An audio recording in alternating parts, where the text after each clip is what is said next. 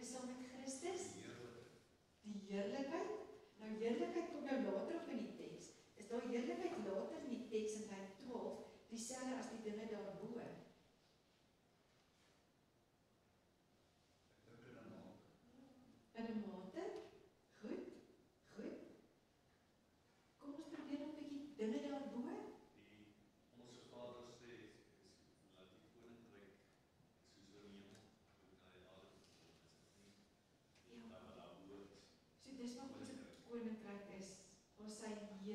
by is die ou boek, jy het eintlik so mooi gesê, die ou Fasiliteerders boek. Die ou Fasiliteerders boek het gesê die dinge daarbo is die hemelinge se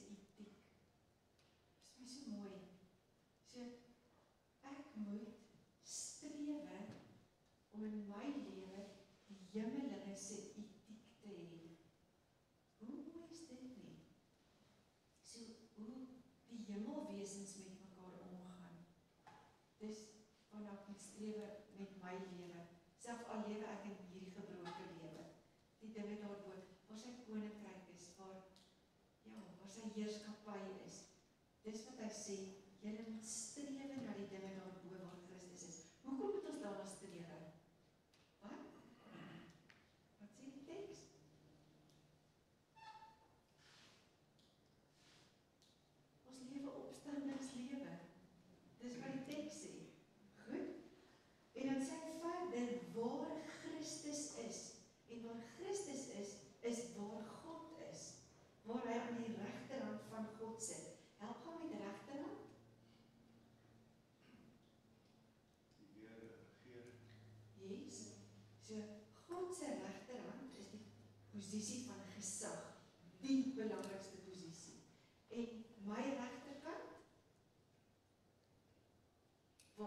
soldaat in die Bybelse tyd sy skild gedra. Linker kant. So dis my beskermende kant. So hier is my oop kant, die regterkant waar die swaard was. Hier was die skild. So dis hoekom die psalms die direkte vertaling gaan sê, Here, beskik my aan my regterkant, want dis die onderkant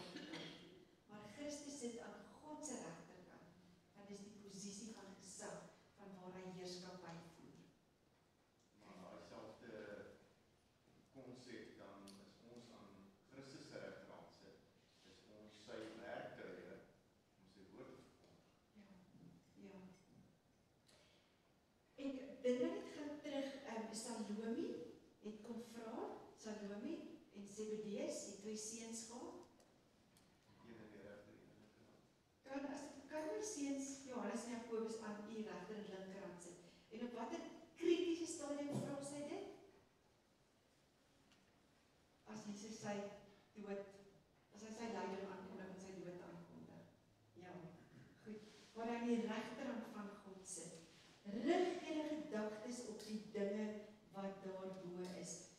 Christ.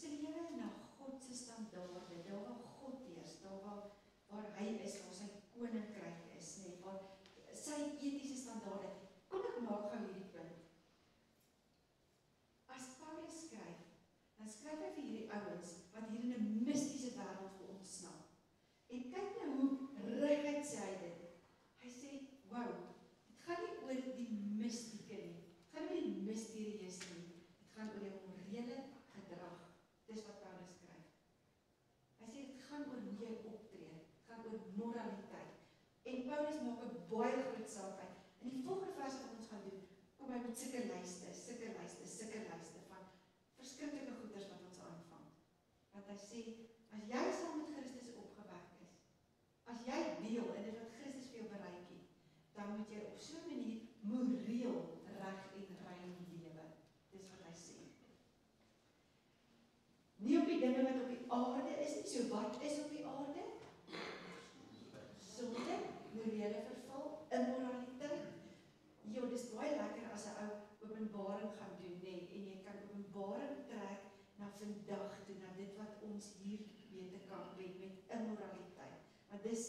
dit is wat in Openbaring aan die gang is, nê, met die bondgenote van Satan, immoraliteit en ehm um, immoraliteit en materialisme is die twee groot goed wat genoem word.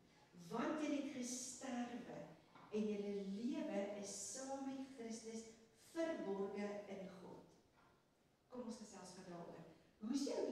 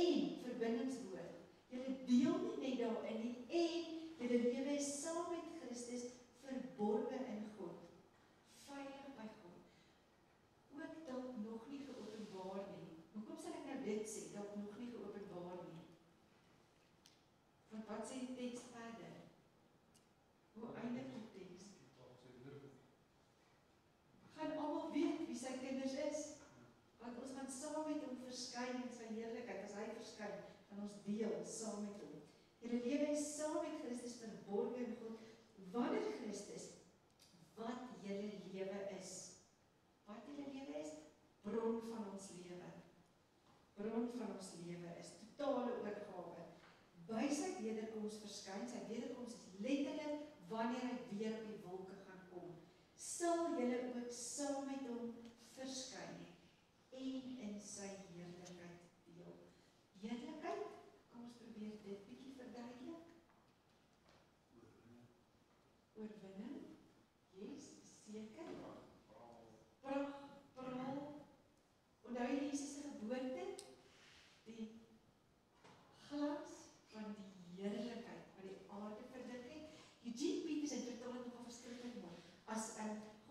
Moses wegsteek en as hy verbygaan, dan vertaal hy dit met the dazzling light of his presence.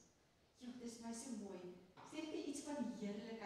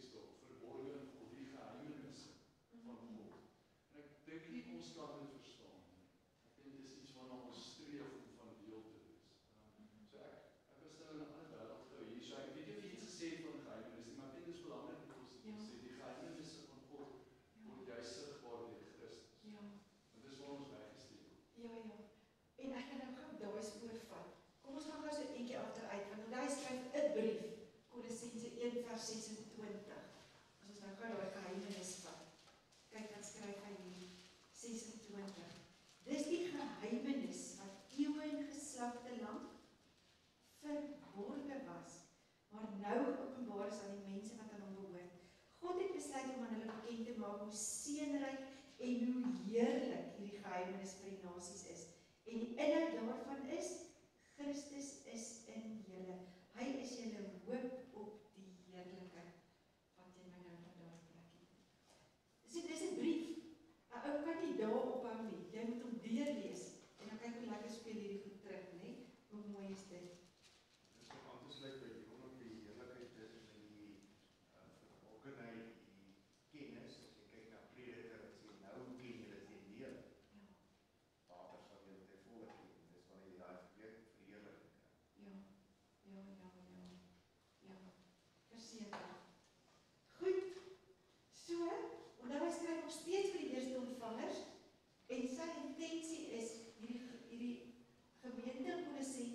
baie baie blootstelling het aan 'n klomp ouens moet hulle losmaak van die gnostisie. Hulle moet verstaan hierdie goed is dwaalleur. Hulle moet verstaan hierdie goed is nie wat vir jou hierdie innerlike vrede gee nie. So dis dis hoekom hy skryf.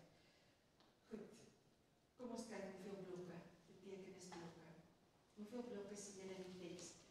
Kyk na die verbindingswoorde, die grysmerkers.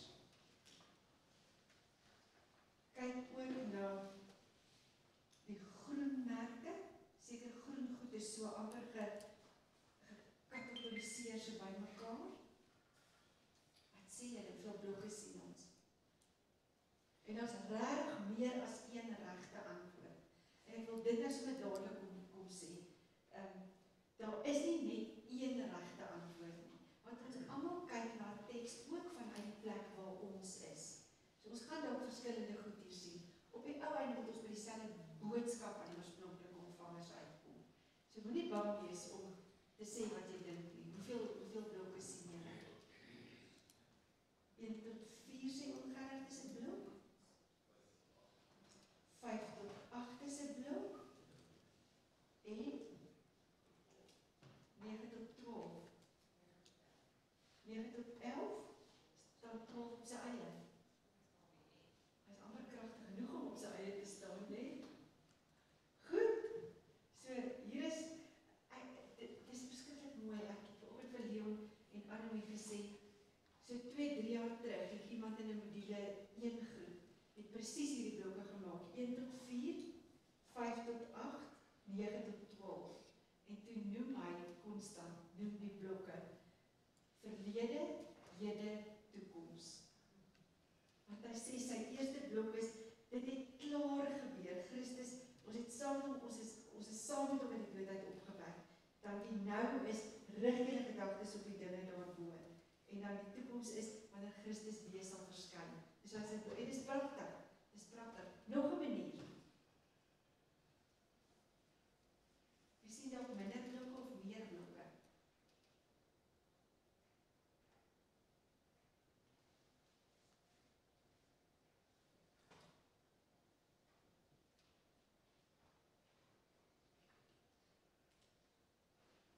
Kan ons nie um, by tussen lyn 6 en 7 'n aparte blok opmaak nie? Beslis. Beslis. 1 tot 6, 7 tot 12. Kan beslis twee blokke wees. Ja. Definitief. Wat sal 1 tot 6 wees?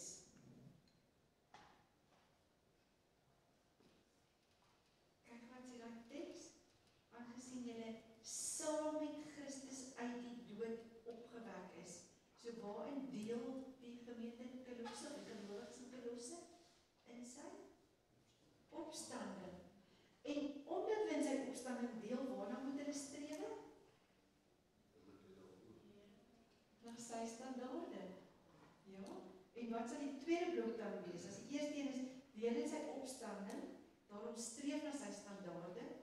Wat sal die tweede blok dan wees? 7 tot 12. Deel in sy Julle het sterwe.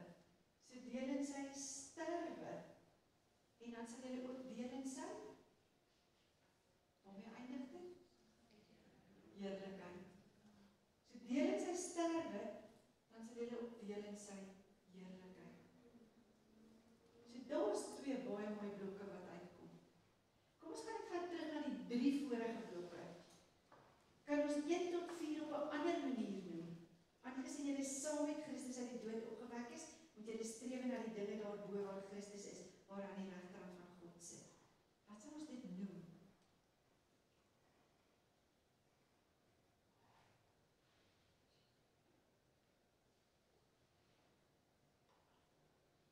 Soos jy een sin daarvoor moet gee.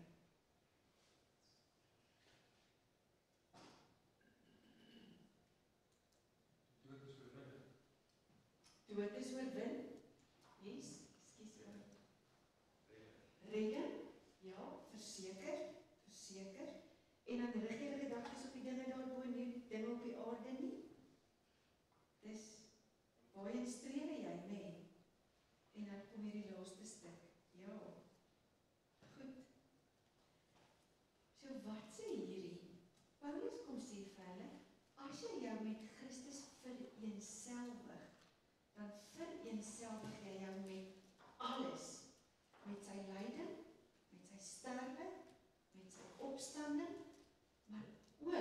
die posisie waar hy aan die regterkant van die Vader sit. Dit beteken dat ek nie my skuldig daaraan mag maak om kragteloos te leef nie. Want as ek my so vereenselwig met hom, dan moet ek weet waar hy nou is. Romeine 8, Eugene Petersen in die message vertaal dit so mooi. Hy hy vra amper so 'n vraag. As jy bewus van waar Christus is, dan sê hy, "He's sticking up at the Father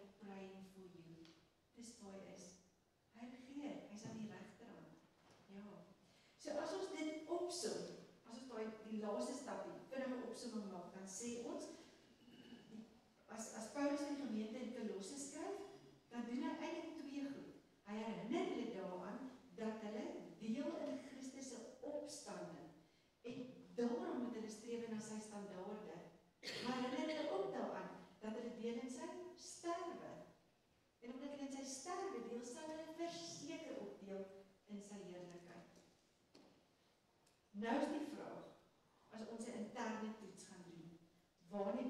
appreciate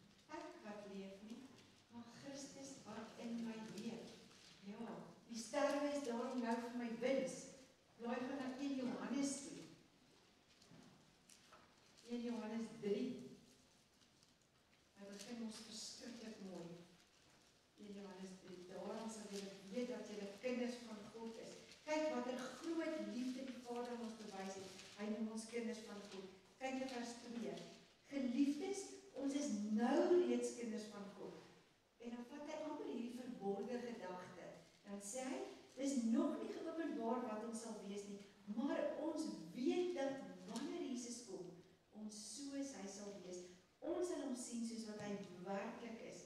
En elkeen wat hierdie verwagting in verband met hom koester, hou homself rein soos wat Jesus rein is. Onthou konstant saam met hom gesterwe, saam met hom opgestaan. So die lewe wat ek leef is 'n lewe in oorvloed. Nou dink ek sommer aan Johannes 10 gekom om ons die lewe in oorvloed te gee, 'n lewe waarin ons sal deel in sy heerlikheid. En nou kan 'n ou kommentaar gaan vat en jy gaan kyk wat sê jou kommentaar, want jy het nou een boodskap gekry, stem jou kommentaar ooreen.